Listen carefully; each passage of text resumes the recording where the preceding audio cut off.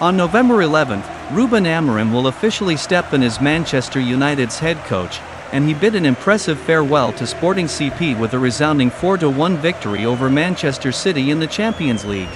This match wasn't just a heartfelt parting gift for Sporting, it also served as a bold warning to the Premier League. Manchester United is about to welcome a manager of true class and resilience. Manchester City took an early lead with a goal from Phil Foden, but under Ruben Amorim's leadership, Sporting CP quickly took control of the game. The Portuguese side showcased a disciplined, tenacious style, with sharp counterattacks, led by star striker Viktor Gyökeres, who delivered a memorable hat-trick, shaking one of Europe's top teams to its core. Meanwhile, City's star Erling Haaland struggled to make an impact, even missing a penalty.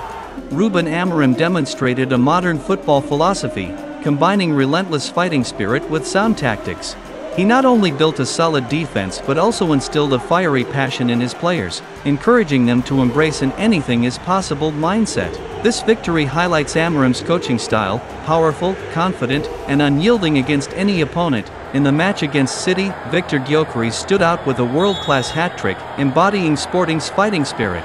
Gyökeres, who previously played in England before joining Sporting, has grown into a formidable striker under Amorim's guidance.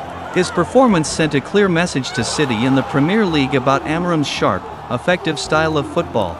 This win wasn't only a meaningful farewell game but also a testament to Ruben Amorim's skill and fortitude as a coach. Manchester United fans watched the match with anticipation, hoping Amorim will bring his fierce, creative approach to Old Trafford exactly the revitalization the Red Devils need to return to title contention.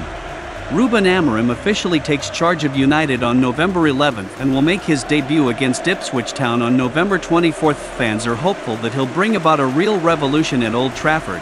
After the match, the Jose Alvalade Stadium erupted with fans chanting Amorim's name, honoring his contributions to the club. A large banner reading Obrigado, thank you, covered the stands and his image lit up the stadium screens, a heartfelt tribute from sporting fans to the manager who led them to victory over one of Europe's strongest teams.